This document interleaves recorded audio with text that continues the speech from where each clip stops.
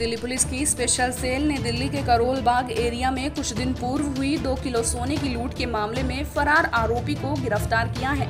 आरोपी के कब्जे से एक किलो सोने की ईट बरामद कर बड़ी कामयाबी हासिल की है। स्पेशल सेल के डीसीपी प्रमोद कुशवाहा के मुताबिक पकड़े गए आरोपी की पहचान गाजियाबाद, यूपी निवासी अजीत के रूप में हुई है। सेल को आरोपी के विषय में गुप्त सूचना मिली थी, जिसके बाद एसीपी हृदय भूषण एसीपी ललित मोहन नेगी के नेतृत्व में इंस्पेक्टर राजेश इंस्पेक्टर संजय गुप्ता की टीम ने आरोपी को सराय काले खां बस स्टैंड के पास से जाल बिछाकर गिरफ़्तार किया।